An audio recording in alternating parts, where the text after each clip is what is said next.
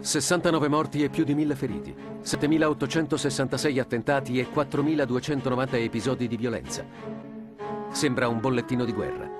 E invece è il bilancio di una stagione politica fra le più drammatiche della Prima Repubblica, quella che negli anni 70 ha visto contrapposte l'estrema destra e l'estrema sinistra.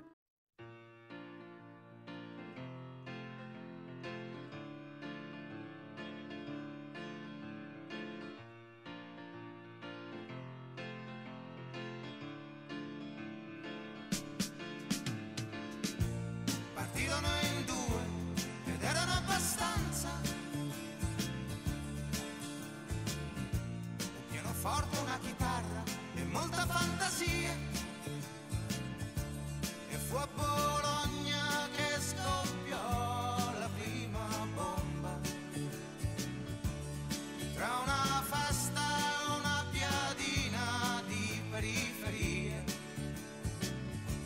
Esplosioni nel pomeriggio a Milano e a Roma. La più grave è avvenuta a Milano, nel salone centrale della sede della Banca Nazionale dell'Agricoltura. Per lo scoppio, 14 persone sono morte.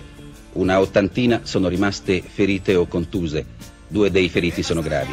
Sembra accertato che sia scoppiata una bomba. Il fatto, per la sua atrocità, per il numero di morti e feriti, è il più grave che abbia Nel colpito Milano in tempo 12 dicembre 1969 una bomba collocata nel salone centrale della Banca Nazionale dell'Agricoltura a Milano provoca 16 morti e 87 feriti. Per gli storici e per i cronisti è l'inizio ufficiale della strategia della tensione e del terrorismo in Italia alla strage di Piazza Fontana. C'è una strana costante nella storia delle Brigate Rosse. Tutte le volte che vengono duramente colpite, quasi distrutte, decapitate, le Brigate Rosse si riorganizzano e ricominciano a colpire. Anzi, alzano il tiro. Per fare cosa? In quel periodo nelle grandi fabbriche ci sono le lotte per il rinnovo dei contratti. Per le Brigate Rosse il Partito Comunista e il sindacato sono troppo morbidi, la loro linea riformista è suicida. Per le Brigate Rosse bisogna agire, bisogna diventare avanguardia politica armata, colpirne uno per educarne cento. Iniziano bruciando le auto dei dirigenti delle fabbriche. La prima è quella del capo del personale della Sid Siemens. Dieci righe sui giornali il giorno dopo. Sono nate le Brigate Rosse.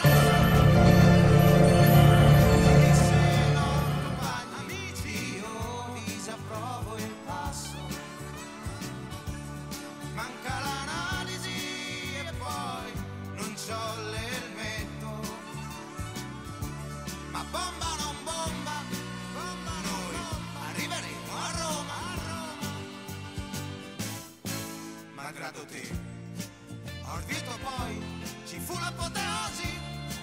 10.57 del 17 maggio. Nel cortile della questura di Milano si è appena conclusa la cerimonia per commemorare il commissario Luigi Calabresi ad un anno dalla sua uccisione.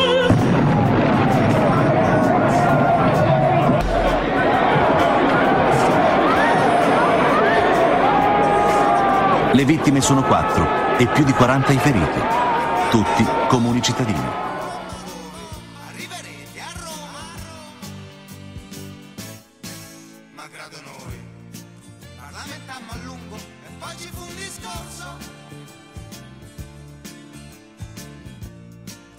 Capitano disse va bene così sia. Sono le 10 e 12. Un ordigno posto in un cestino della piazza esplode. Otto morti, più di 100 feriti. Nella centralissima piazza della Loggia, i sindacati hanno indetto una manifestazione di protesta contro la violenza neofascista. Lo sgomento nel paese è alle stelle. Arriveremo a Roma. Malgrado voi gente ci amava e questo è l'importante. Questa edizione straordinaria del telegiornale è dedicata a un criminale attentato avvenuto questa notte sulla linea ferroviaria Firenze-Bologna contro il treno Roma-Brennero. Ecco il vagone nel quale è esploso l'ordigno, il quinto vagone, una carrozza di seconda classe. Alla partenza da Roma, ieri sera alle 20.35, c'erano qui almeno 72 persone, il numero dei posti a sedere. Il bilancio è gravissimo. 12 morti e un numero imprecisato di feriti, oltre una trentina, alcuni dei quali gravi. Lo scoppio, seguito da un incendio, è avvenuto a un centinaio di metri prima dell'uscita da una galleria vicino alla stazione di San Benedetto, Val di Sambro. Una bomba, forse ad orologeria, collocata sul vagone e regolata perché scoppiasse proprio sotto il tunnel, per creare più confusione e più panico.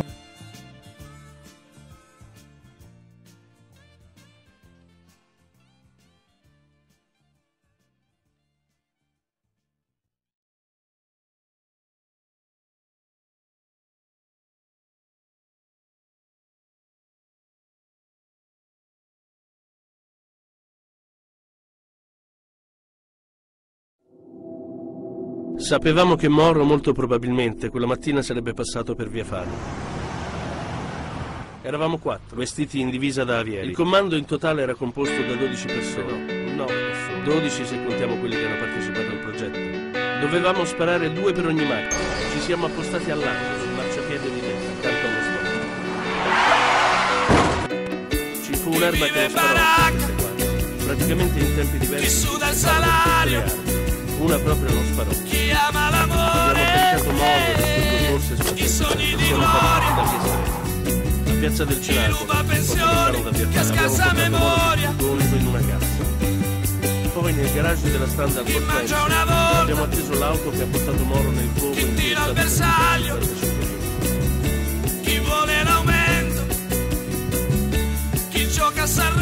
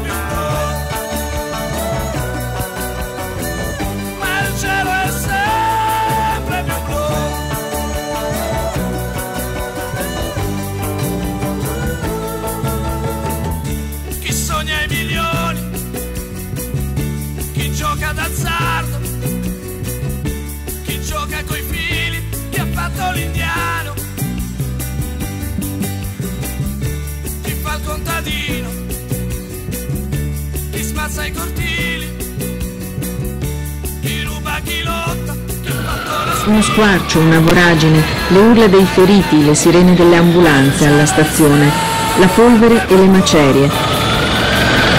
Il sudore dei soccorritori, gli autobus usati come trasporto di emergenza.